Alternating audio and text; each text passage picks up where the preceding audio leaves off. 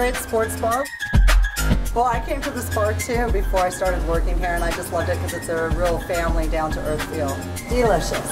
Every day between 5 and 8, we have a complimentary buffet and happy hour prices. Come in, you can buy one beer and get a full meal. During different holidays, we put out a huge buffet. We really give back to the community. We actually, I think we have two different crowds of business. We have our happy hour crowd during the day, which is more local and a little bit older, and then at nighttime we have more of a younger crowd. Yes, we have a DJ every Friday and Saturday night. DJ Pablo, he comes and spins, and then on different events, sometimes we have DJs from abroad come in and they perform as well.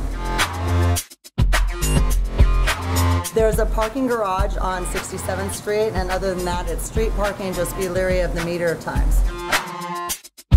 I've seen people plug in their laptops like this is their office.